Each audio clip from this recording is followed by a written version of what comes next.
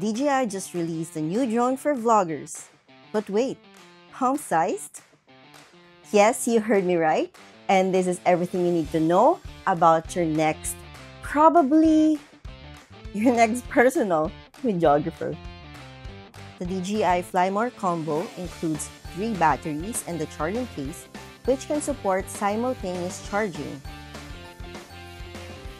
This also has an RC-N3 remote controller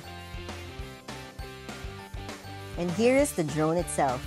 It already has 22 gig internal storage. It also allows direct charging of the drone and supports quick transfer via Wi-Fi.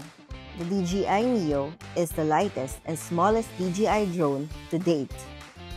It is portable and has a level 4 wind resistance. Despite being small, it has a full coverage propeller guards to keep it stable and ensure safety from falls and damages.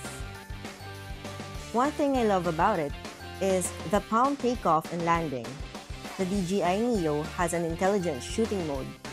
Place it on your palm with the camera facing your face and it will take off upon facial recognition.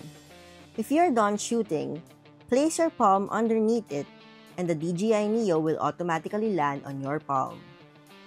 It also has AI subject tracking.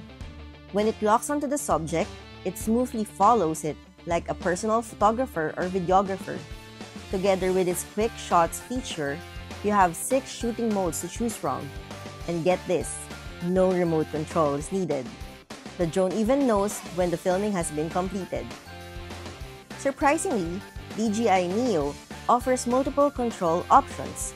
You can control it from your mobile app or its remote controller, or even go controller free. You can also record your audio in real time through your phone and be controlled via voice commands. I cannot wait to test all the features it has as it takes filming daily vlogs up a notch.